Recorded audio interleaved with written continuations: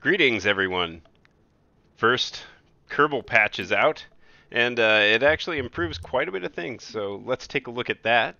And I figured since the first patch is out, it's also the perfect time to rescue some people that have been bugged out. I've been having this weird bug, and unfortunately the patch doesn't seem to have fixed it. But I have this weird bug where my spaceships will just randomly be out of fuel. I think somehow their engine gets activated when they're in time warp or something could potentially also be related to this weird bug in the previous version where when you were naming your spaceship, if you hit the M key, you'd go to the map and then whatever buttons you were if you were typing really fast, those buttons would happen to your spaceship. So that's entirely possible. So that obnoxious naming your ship anything with an M bug is fixed, thankfully. So I can go back to naming my ships moon ships instead of noon ships. Side note, I absolutely love what they did with the thumbnails for the crafts. That is a really nice touch. I'm really glad you can skip the countdown. And I thought I'd hate the countdown, but I actually really like the countdown. And I listen to it more times than I care to admit. I mean, granted, I'm maybe, what, like 60 hours into the game? But I'm not sick of it yet. It's still great. As you can see, this is unmanned. This is going to be part of my moon mission. I'm going to launch a lander into orbit. I'm going to leave it parked there until next episode when I will rendezvous with it and take it to the moon. Speaking of never gets old, stage separations. Add in my playtime with this game and its predecessor and yeah, that that will never get old. It's always fun watching spaceships dump components and transform. Oh, this hilarious, seemingly harmless bug still exists, where when you stage your fairing off, it just goes woo! Here's my lunar lander, and it will just sit here in orbit until I need it next episode. For the rest of this video, we're going to be rescuing some people who are stranded here in orbit. Because now that some of the serious orbit and rendezvous and delta V bugs have been fixed, and docking port bugs. Now it's time to go rescue those guys that that fuel glitch stranded. I've got one crew with a lot of Kerbals in it. Uh, I think it's got five on board at a high altitude, and then I've got another crew with uh, just two, uh, Tim and somebody else. I absolutely love that you can colorize the rockets. I'm also going to need to put a computer on here so that I can send this unmanned up to get that crew of five people, but it's probably good that there's an autonomous version of this crew vehicle anyway. It's kind of an oversight.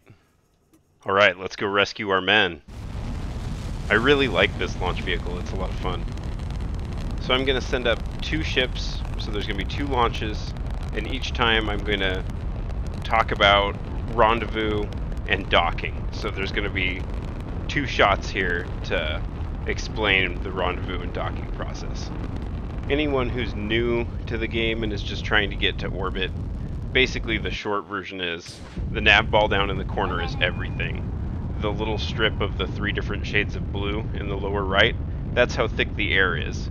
And you want to be tipping over to the right the thinner the air gets. So the the deeper in the color blue that little indicator gets. That's pretty much all there is to it. You just want to be building up speed while you're dipping to the right as the air thins out. Now we're just going to coast until the number to ground is pretty close to the AP number in the lower left of the screen by the nav ball. And once we're up there, we're going to point prograde and just blast our engine until that PE number in the lower left is something above 100, anything above 100, and then we'll get into a proper orbit and look at our look at our situation to our target because we're we're on a rescue mission. So we've about achieved a a decent orbit here. It's not a very circularized orbit, but that's okay. What I'm going to do is I'm just going to kind of eyeball where the other spaceship is and look at the lines on the of their orbits. And then I'm going to play around with the maneuver node. I'm going to accelerate until my orbit crosses the orbit of my target, and then I'm going to grab the middle of the maneuver node and just drag it around my orbit and and see what's up. Uh, you can see that uh, AN 0.6, that's the ascending node to my target. And that's really good. I really lucked out. What that is, is it's your relative inclination to them. And if that number is a lot higher than zero, you do have to do a maneuver, which I'll show you in the next mission. Um, but you do have to do a maneuver to get that number closer to zero. But since we are really close to the same inclination, and I really lucked out here, and I did find an encounter where we're going to be really close to each other, like 6,000 meters. So now in the lower left, I'm going to click on the thing down here that says maneuver. I'm going to let my spaceship rotate around until it's pointing at the maneuver, and then I'm going to hit the little fast forward button to the left of the of the maneuver planner, not maneuver node, the maneuver planner window there, and fast forward to when I need to start burning my engine. So basically that little start burn in, when that hits zero, it's time to start burning. And uh, I'm going to watch the map because I want to be extra sure I don't overshoot this. And I want, I'm, to, I'm going for that 1A and 1B. And that did it. That's pretty dang good. So now the next step is just to time warp until I get to that marked 1A and 1B section. And once I get there, I'm going to show you how we kill out our relative velocity. So first thing I need to do is change the number, the yellow number in the lower left to target. There's a bunch of different ones like orbit, um, but I want it to say target. So make sure the little yellow thing says target, and then you point retrograde and now we just time warp until we're as close as possible and then we fire our engine retrograde until that little target number in yellow over there on the left says zero or as close to zero as possible. Once we get our speed to our target pretty close to zero then we're going to click on target kind of near the nav ball and when we point at our target we're going to accelerate towards them and then we're just kind of kind of do this repeat thing where we fire towards our target get the speed up to maybe 50 meters a second or so. And then we flip around retrograde, fire our engine until we're at zero, and so it's uh, we kind of are going to inch our way over to them. Now, once you're within a few hundred meters of your target, now the game kind of changes, and we're going to be using the R key for RCS, and we're going to use I, J, K, and L to up, down, left, and right move the prograde or retrograde indicator around on the nav ball. Always a good idea to quick save when you're this close. But I'm just going to use the H key to kind of scooch myself to the other side of the target. I'm going to flip myself around and try to visually line up where our docking ports are. I've got the camera currently set to chase mode, but it seems to always want to view it from the top, which is kind of annoying. But once I kind of am uh, lined up what I think is about right, then I start paying attention exclusively to the nav ball and just trying to use I, J, K, and L to move the prograde, I'm heading towards them, the open circle, or retrograde, I'm moving away from them, the crossed circle. And I'm just going to move those around the nav ball up, down, left, and right. And I, like I said, pretty much exclusively look at the nav ball until I've docked you see how the open circle is way off to the left of the nav ball, and the nose of my spacecraft is slowly inching towards that target indicator on the nav ball. So as you get in really close, you want to try to have all three of those indicators lined up. Nose of my spaceship, the target indicator, and the prograde indicator, the direction I'm going. And then you're all set for a docking, provided you're lined up in 3D space. So I'm going to use the Kerbal Manager, put all my Kerbals in the new spaceship, just for fun. And I'm going to bring the whole thing down, because I don't want to leave any space junk up here. Let's set this trash loose. And we'll become a capsule here. I can't wait until they add reentry heating, but until then, we don't really need to worry about anything to do with reentry. Awesome, these Kerbals are good as rescued. But we're not done yet. I'm still going to send another ship up to rescue a couple more stranded. So we're going to recover our vessel. We're going to head back to the VAB, throw a new coat of paint on another rescue mission. This launch vehicle is just way too much fun. I'm going to park this in orbit, and then once I'm in orbit, I'm going to assess when we can rendezvous, and let's go get those guys.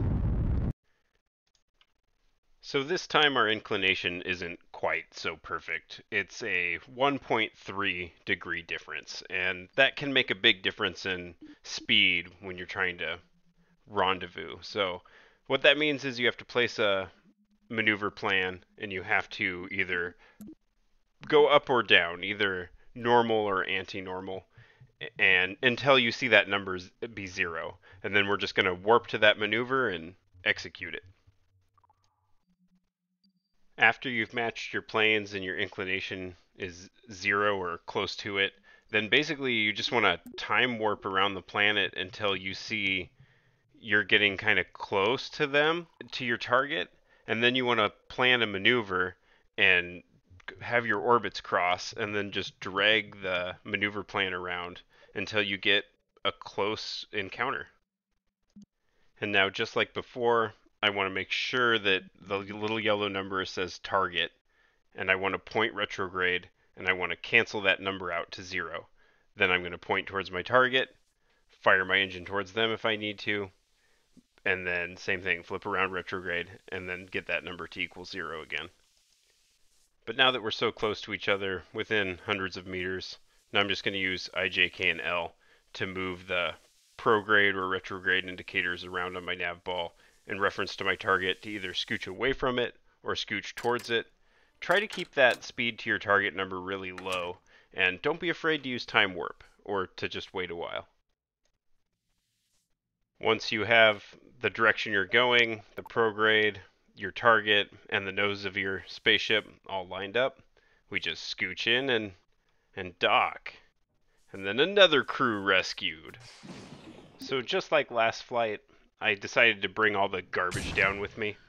But the weirdest thing kept happening where I think it was counting the undocked bits as still part of my ship. And so once they separated or once it yeah, I think it was once they got too far apart, I would just fail. So I actually had to land these two capsules docked together. Which worked fine for the parachute portion, but the uh, water landing, it was not very buoyant. Gave me a bit of a panic attack as I quickly tried to recover the crew. Thankfully, everyone survived. Hope you found this video useful or at least entertaining. I'm really enjoying the new patch so far. Please leave a like if you enjoyed the video, and I'd really appreciate a subscribe if you haven't already, and thanks for watching.